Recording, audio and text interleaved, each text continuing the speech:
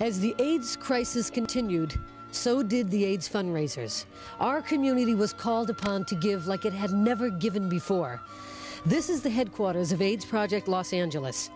In 1987, they saw a 51% increase in client services, and over 1,300 people joined in as volunteers. Fundraisers bring out the stars. Elvira hosted an evening in white to raise money for APLA. And you're going to give a little speech? Yes, I'm going to give as little speech as I can possibly get away with. I'm not very good at talking. But you have a lot of fans here. Yeah, I know. Well, I hope I do. I mean, I know I'm fans of uh, everyone's here. See, and everybody's in white tonight and you're in black. Yes, that's right. Uh, I did that so, kind of purposely so I'd stand out.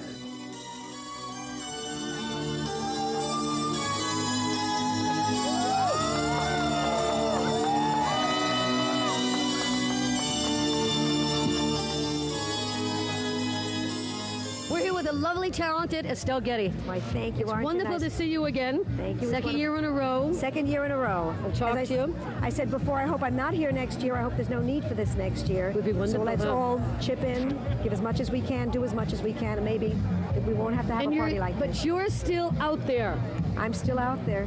stepping out there and talking about AIDS and telling everybody. Absolutely. Trying I'll go on doing it until it's all over. Over 8,000 people walked in AIDS Project Los Angeles' walkathon.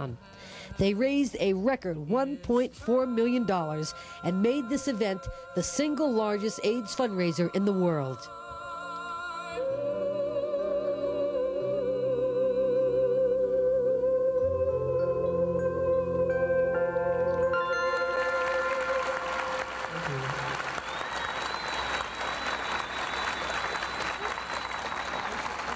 And we here today are giving off an energy governed by love, and love will eat up fear and spit it out, and we will prevail. See that sign right there? Over $1,400,000. Incredible. I'm so proud. Yes. And you were part of it. Thank you, thank you. See that sign there, guys? Over $1,400,000. And you.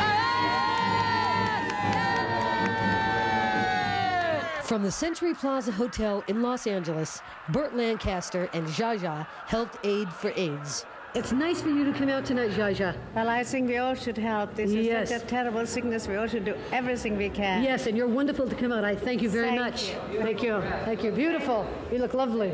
How many times can a girl get married?